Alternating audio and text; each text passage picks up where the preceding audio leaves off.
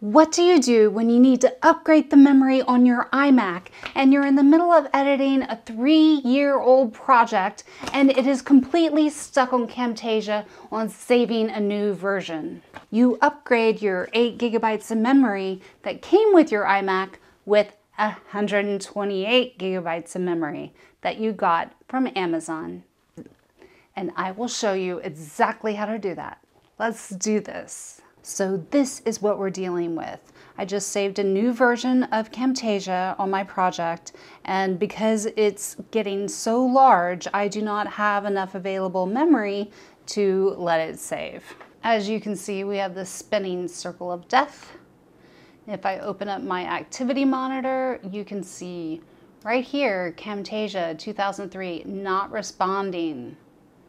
And the physical memory is 8 gigabytes. That's what it came with. The memory used is 6.8 gigabytes.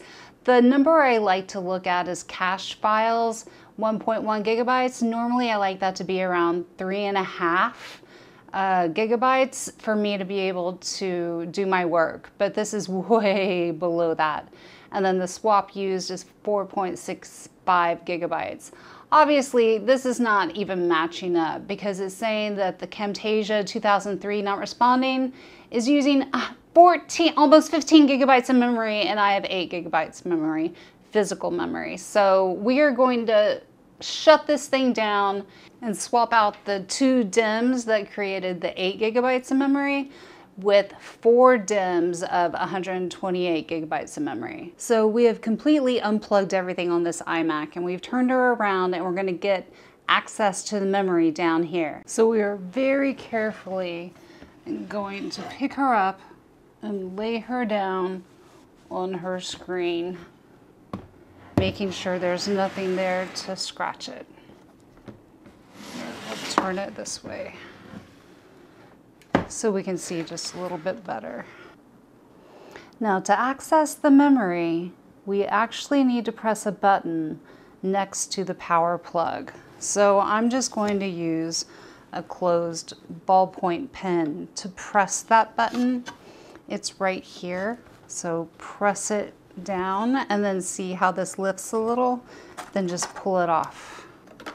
And if you look at the back of the plate that you just pulled off, it shows you a little a diagram. So you push the two uh, buttons out to take out the DIMMs, and then when you put the new DIMMs in, you uh, push those two buttons back in or back down. I'll try to do this so my fingers are not in the way. So do you see how that moves up? So these are the two DIMMs right now. So here's one, here's one four gigabyte DIMM, and here's the other four gigabyte DIMM.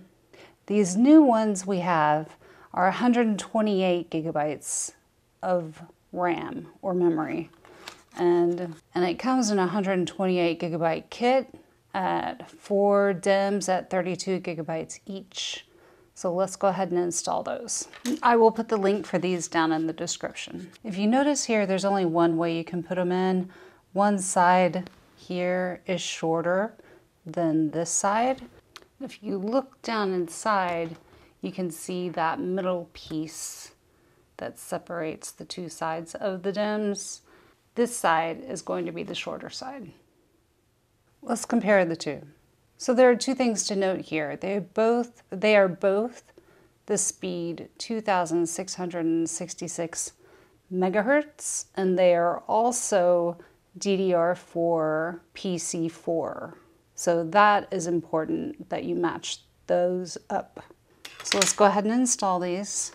And notice that here's the here's the short side. So I'll put one clip in one side and drop it down and put pressure on both sides until it kind of snaps in.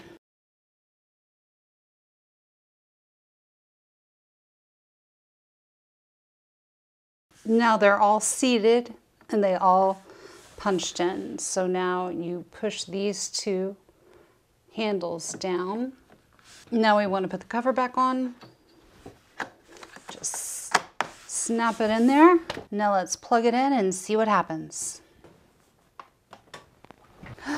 She turned on. Oh my goodness. I am so happy. Here we go. Looks good so far.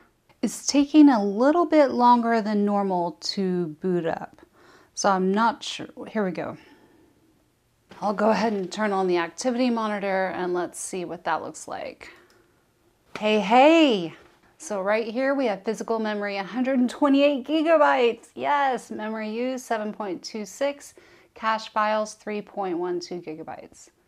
All right, let's open up Camtasia and try and save my file. So we're opening up my latest build and attempting to save it as a new version. That's where it got stuck last time. Might as well look at the activity monitor while it's loading. Okay, so down here we have 128 gigabytes memory, memory used 22.68 gigabytes. Wow. And cache files 4.55 gigabytes. Ooh, I'm so excited. So this is version 19 of this long video that I've been working on. So I am going to attempt to save it as version 20. And let's see if it works and doesn't crash on me again. Yes, replace. And this is where I was stuck last time. Let's go ahead and look at the activity monitor. See how it's doing wow, that memory pressure is green and it's really low compared to what it was before. It was like yellow and high. it did it! Yay! I'm so glad that this worked. If you liked this video and it helped you in any way, please hit the like button and subscribe for more videos just like this. Thanks so much for watching. I'll see you in the next one.